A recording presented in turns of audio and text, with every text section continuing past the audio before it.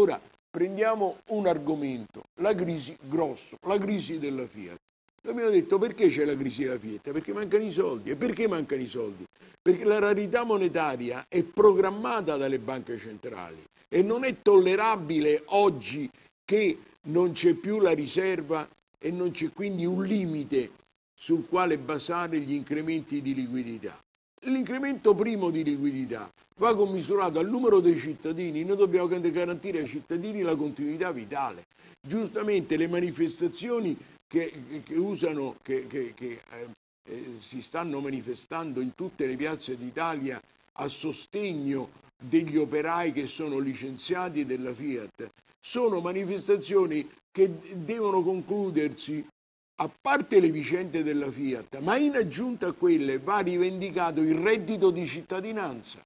La differenza che c'è tra reddito di cittadinanza e salario è che il salario ce l'ho se c'è lavoro, ma se il lavoro non c'è, che fa? Devo morire di fame?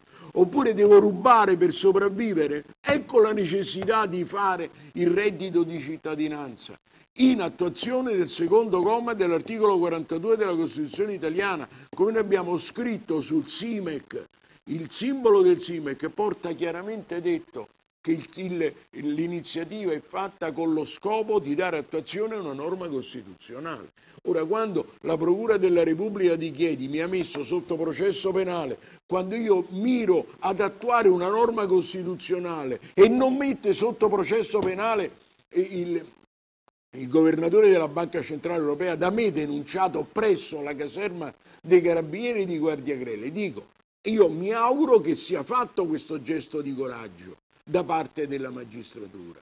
Perché quando noi ci troviamo di fronte al notorio, il notorio non ha bisogno di prove, grazie a Dio, questo, questo delibera del Consiglio Comunale di Guardia Grele all'unanimità fa capire che il Consiglio Comunale è diventata la punta di diamante per aprire una strada nuova, una speranza nuova. Noi dobbiamo dare ad ogni famiglia un minimo di reddito che gli garantisca la libertà dalla miseria, soddisfare i bisogni fondamentali. È inutile che noi parliamo di norme costituzionali. Io ho detto è inutile che noi recitiamo il Pater Nostro, dacci oggi il nostro pane quotidiano. Questa è la dottrina sociale della Chiesa.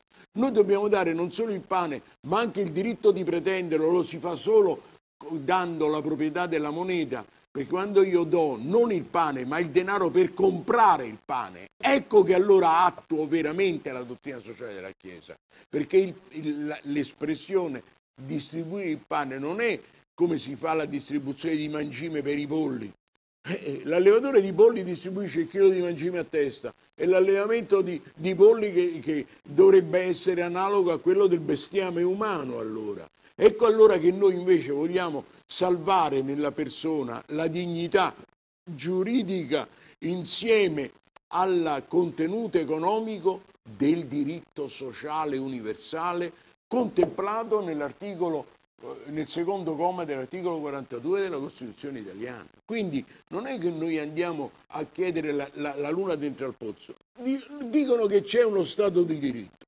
dicono che la Costituzione va rispettata. E allora, e allora perché non diamo atto a questa iniziativa? Allora quando noi vediamo che i magistrati se la pigliano con noi del sindacato antiusura perché noi abbiamo lanciato il, il, SIME, il SIME che è un messaggio, è un esperimento scientifico. E voglio segnalare su questo aspetto le parole pronunciate da Bruno D'Arquini, procuratore generale onorario di Cassazione, il quale nel suo magnifico libro La banca, la moneta e l'usura esplicitamente dedica diverse pagine all'esperimento di Guardia Grele ed è riportato l'immagine del SIMEC. Dico, quando in tempi non sospetti c'è stato un procuratore generale di Cassazione il quale ha dato atto che il SIMEC è un esperimento eh, eh, rispettabile e conforme alle linee del, del diritto costituzionale italiano, dico, e come si fa a mettere in dubbio la legittimità di questa nostra iniziativa. E noi l'abbiamo fatto anche perché il, la malattia che oggi dilaga è il suicidio da insolvenza. Il suicidio da insolvenza è causato dal costo del denaro programmato dalle banche centrali, che all'atto dell'emissione caricano il costo del denaro del 200%, ci espropriano e ci indebitano dei soldi nostri, perché all'atto dell'emissione attuano l'emissione col signoraggio della grande usura, perché addebitano quello che devono accreditare. Ora, questa truffa è di tali dimensioni che grida vendetta a Dio. Ecco perché il, il problema di fondo, prima di tutto, è quello di garantire qualunque sia la vicenda della Fiat o della, del lavoro, della disoccupazione, io voglio avere la sicurezza, il reddito di cittadinanza spetta al cittadino, non a titolo di elemosina, ma a titolo di legittima pretesa giuridica, perché chi crea il valore della moneta è la collettività nazionale, questo valore è creato per convenzione sul presupposto delle spese di carta e inchiostro per creare il simbolo, che abbiamo dimostrato che il valore non è una proprietà della materia, ma è una dimensione del tempo perché è una previsione. È tempo oggettivato il potere d'acquisto, è incorporato nel simbolo.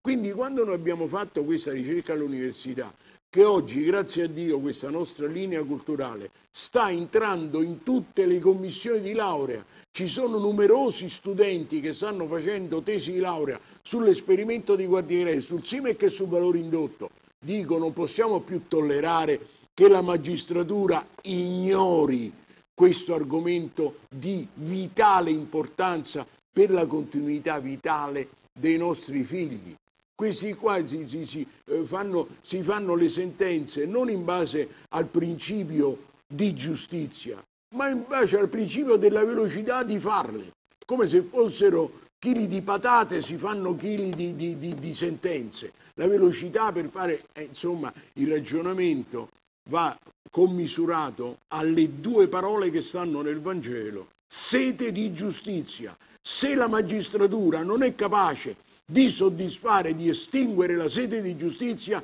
i magistrati è meglio che cambiano mestiere. Noi abbiamo bisogno di un grande gesto ormai, perché non possiamo più tollerare di andare avanti con eh, l'angoscia del debito. Io nella mia qualità di, di sindacato antiusura ritengo di aver eh, salvato dal suicidio diverse persone che stavano sull'orlo della disperazione, sull'abisso. E noi l'abbiamo fatto come? Con i SIMEC. Con i SIMEC noi abbiamo tamponato, abbiamo fatto i pagamenti, abbiamo creato liquidità. Questi ragionamenti fanno capire che il mondo dell'usura, il mondo drammatico in cui è precipitata la nostra collettività nazionale, oggi il vero problema è quello delle debiti da pagare che sono debiti non dovuti. Quindi l'esproprio che si fa per le case, per i beni, per tutta la tranquillità è, è, è un atto di ingiustizia grande. Noi abbiamo bisogno di un grande gesto di coraggio da parte dei magistrati, i quali devono dire se non si dichiara di chi è la proprietà della moneta all'atto dell'emissione, non si può dire chi è creditore e chi è debitore, quindi va concessa la moratoria dei debiti, quantomeno la moratoria dei debiti, in attesa che si prendano delle decisioni, secondo saggezza, secondo verità, secondo giustizia. È per noi di Guardiagrele un onore che nel congresso di Guardiagrele del 13 di settembre ultimo scorso si siano pronunciate tre parole che non hanno precedenti nella storia due parole, giustizia monetaria. Sono due parole che non trovano riscontro nella storia della cultura monetaria. Quando si parla di moneta, si parla di moneta, moneta debito, moneta eh, come eh, espressione finanziaria, moneta è lo sterco del demonio, la moneta è il nulla, la moneta è la misura del valore, la moneta è quello che volete, però giustizia monetaria non ne ha mai parlato nessuno. E allora noi abbiamo posto il problema e per porre così il problema la prima domanda che noi dobbiamo chiedere è di chi è la moneta? Perché quando la moneta è creata per convenzione con simboli di costo nullo, eh, il Patterson dice la Banca d'Inghilterra si arricchisce sugli interessi, sulla moneta che, che crea dal nulla. Non è che solo degli interessi, ma della stessa moneta si appropria, perché per avere gli interessi vuol dire che la presta, ma per prestare vuol dire che se ne è presa la proprietà, perché è il proprietario che può prestare. Noi dobbiamo uscire da questa malattia culturale che dura da 308 anni